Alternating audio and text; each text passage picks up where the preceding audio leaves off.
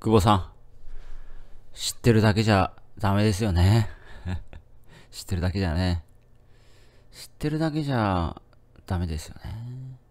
はい。あの、今回ね、あの、価値、価値の定義。価値の定義で、あの、これね、熟成さんからね、あるチャンネルを送っていただいて、ちょっとね、あの、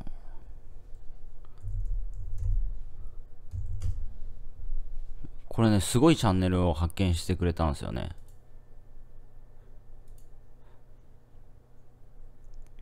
これちょっと、時々、オカリナ。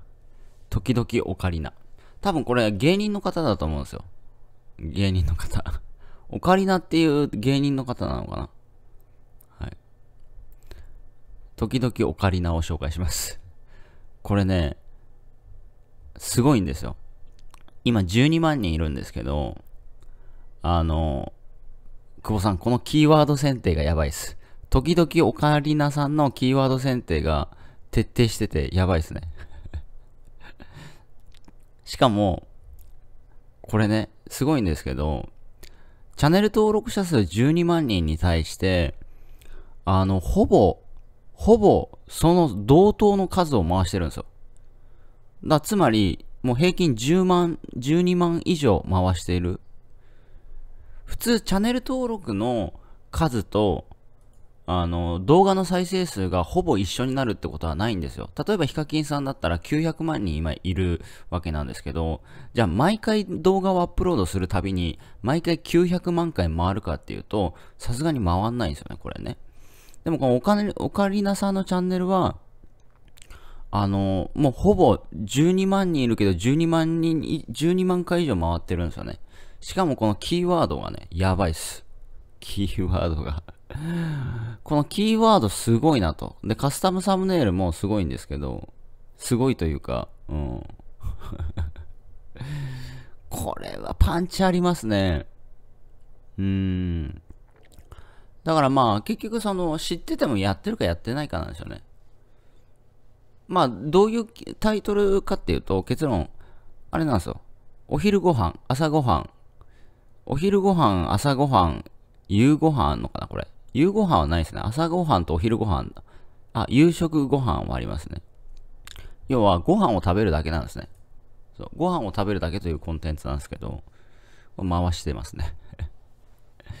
やばないですかこれ。これ、まあ、見てもらえばわかりますけど、まあ、見てほしいですね。まあ、結局ね、今は、あの、ご飯食べるだけでもいけるっていう話です。ご飯食べるだけでも もちろんこの方は芸人さんっていうところもあるかもしれないですけども、じゃあ、やってますよね。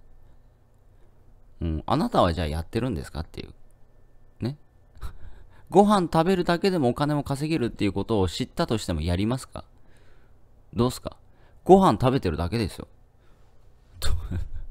でもやらないでしょ多分やらないですよ。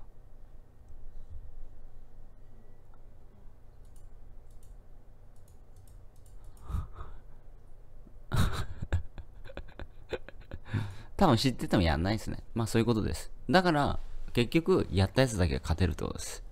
うん。ご飯食べるだけでも動画回してね。だ久保さんもね、あの、なんだ、あの、やってますよね。あの、パンとかね。まあ僕もやったりとかしてますけど、まあや、知っててもやんないですね、これね、みんな。ご飯ぐらい食べてるだろうと。ご飯ぐらい食べてるだろうと。ご飯食べてんのにね、もったいないですね。うーん。なんでやんないんすかね。いってらっしゃい。